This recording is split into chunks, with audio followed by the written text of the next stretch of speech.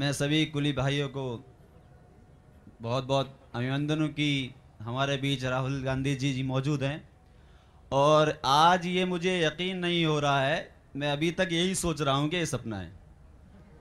हकीकत में मैंने कई बार अपने हाथ को उठा करके भी देखा है, लेकिन ये मज़ाक नहीं है। क्योंकि जिस इंसान को हम ज़िंदगी भर टीवी पर मम्मी, पापा, मेरी दादी जो अब गुजर चुकी है, उससे मैं सुनता आया हूँ। और मैं अब बच्चा होकर के भी सुना हूँ कि मुझे टीवी पर तो बाद बाद में मिली है कि कौन है राहुल गांधी जी और कौन है सोनिया गांधी जी और कौन है इंदिरा गांधी जी। उनकी असलियत, उनके जो पीछे वारदात जो हुई है, उनको हमें कहानी बनाकर समझाती थी और बताती थी। वो हम कांग्रेसी हैं, जो आज भी हमको कई बार टीवी पर वो सीन देख करके आँखों में आँसू आ जाते हैं। खुदा की कसम खा करके इस चीज़ को मैं कहता हूँ। लेकिन उस चीज़ को मैं दोहराना नहीं चाहता बल्कि बताना चाहता हूँ। आज सिर्फ़ उस चीज़ के बारे में बात नहीं हो रही हो, रही, हो रही है। आज बात हो रही है कुली के ऊपर। तो कुली के ऊपर बात की जाए तो आज से 20-25 साल पहले एक गाना आया था मैं कुली नंबर वन सारी दुनिया का बोझ में उठाता हूँ। तो भाइयों बुज़ुर्गों दोस्तों वो थे अमिताभ बच्चन जिसे भी सारी दुनिया जानती है। और वो अमिताभ बच्चन की ज़िंदगी तो बदल गई कुली से, लेकिन ये कुली आज वही है, वही रह गया। क्यों नहीं बदली ये कुली की ज़िंदगी? और क्यों नहीं बदलने वाली ये ज़िंदगी? ये भी हम जानते थे, लेकिन आज थोड़ा सा मन में ये विश्वास हुआ है कि आज बदलेगी। क्यों बदलेगी? ये मुझे बताने की ज़रूरत नहीं है, बल्कि आप सबके सामने जो खड़े हैं, अल्लाह उनको उनके हिद, उनके दिलों में हिदायत डाले कि कुली की ज़िंदगी बदले। कुली एक वो इंसान है वो इंसान रहा है वो इंसान मैं एक छोटा सा बच्चा हूँ जो आज दो चार साल में इसमें आया हूँ। उससे पहले मैं जयपुर यूनानी मेडिसन में था और वहाँ भी राहुल गांधी जी ने जो भाषण दिए थे उसमें मैं मैं मौजूद था। आज दूसरी बार देख रहा हूँ तो हो रहा है खुशी महसूस कर रहा हूँ कि आज मैंने कोई ज़िंदगी में नए काम किया था। और यार नमाजों का ही अजर है जो अल्लाह ने मुझे दोबारा तोफीक दी है इनसे मिलने के लिए। तो मैं ये कह रहा हूँ, कुली वो इंसान है और हमारी हदीस पाक के अंदर है, कुरान के अंदर लिखा हुआ है, जो आयत क्या है, उस आयत का मफहम है कि लोगो, तुमने अगर एक बार भी अपने माँ बाप को बाबूजी कहा तो आपको एक नेकी मिलेगी। 24 घंटे के अंदर आपने मोहब्बत की निगाह से अपने माँ बाप को देखा तो उसके लिए आपको नेकी मिलेगी।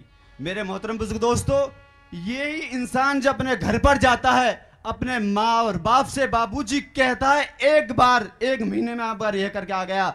लेकिन जब ये स्टेशन पे आता है और जब पैसेंजर आता है तो पैसेंजर से ये दिन में एक हज़ार बार बाबूजी कहता है। इससे बड़ा और क्या रिश्ता होगा? एक कुली और एक पैसेंजर के बीच। कुली वो है जिसको अगर कोई लाचार है तो उसको गाड़ी तक भी पहुंचाता है, सीट पे भी पहुंचाता है और बाबूजी बाबूजी कहता है, उसका थूक भी सूख सूख जाता है। लेकिन जब ये, यही कुली आज हिंदुस्तान के जितने भी बड़े बड़े नेता हुए हैं, उनके नाम तो आप लोग सभी जानते हैं।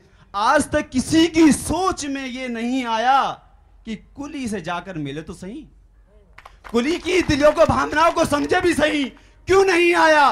क्योंकि उनकी दिलों में, उनकी धड़कनों में सिर्फ़ बसती है तो उनकी धड़कों में कुर्सियाँ बसती है, सियासत बसती है। और ये जो खड़े मेरे सामने, इनके दिल के अंदर गरीब गरीब लोगों के लिए इनका दिल धड़कता है।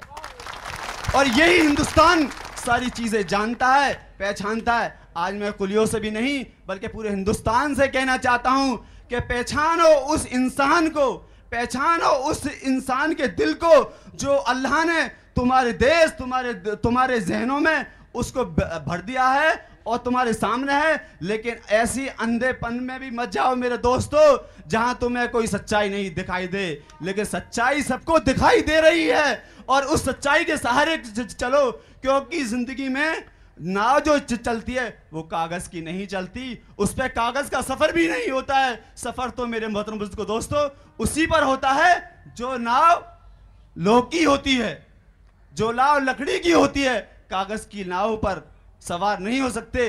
तो आज हमारे बीच में राहुल गांधी जी जो आए मुझे उम्मीद है कि जब इतना इत, इतना कुली का पैसेंजर का रिश्ता है हर चीज़ में गिनाने की ज़रूरत नहीं है। सारे देश के पैसेंजर जानते हैं कि कुली उनके लिए कितनी हेल्प करता है और कितनी हेल्प वो अपने लिए बाबूजी इज़्ज़त से बोलता है। मैं कहता हूँ हमारे लिए ये दो महीने का पास है सिर्फ़ इसको तीन हिस्सों में बांट करके बारह महीने का, का कर दिया जाए और एक समस्या यह है, जो हम चालीस रुपए की मजदूर उठाते हैं, दस किलो का वज़न भी उठाते हैं, कभी पाँच किलो का वज़न भी उठाते हैं, कभी चालीस किलो का भी उठाते हैं, कभी पचास किलो का भी उठाते हैं। मैं ज़िंदगी में झूठ नहीं नहीं बोली, नहीं बोलूँगा। हम हर तरीके का वज़न उठाते हैं। कभी हम चालीस भी लेते हैं, कभी पचास भी लेते हैं, कभी साठ भी लेते हैं, कभी ज़्यादा और कभी कम ले लेते हैं। क्योंकि हमारा रोजी यही है, हमारा धंधा यही है, इसी से हम कमाते हैं, इसी से खाते हैं।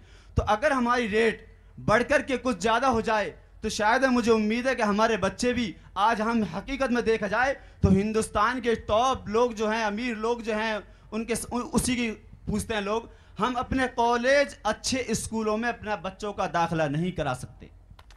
क्योंकि हमारे पास या तो इतने ही पैसे कमाते हैं, ना तो हमको घर मिलता है, ना ना ही हमको कोई और फैसिलिटी मिलती है साहब, जिससे हमारे, हर चीज़, हमको खाना, पीना हमको रहना, हमको क्वार्टर किराए की लेनी पड़ती, जो यहाँ चार से पाँच हज़ार रुपये महीने का किराया देना पड़ता है, वो भी हम ही देते हैं। खाना पीना भी हम हम, हमारा ही है।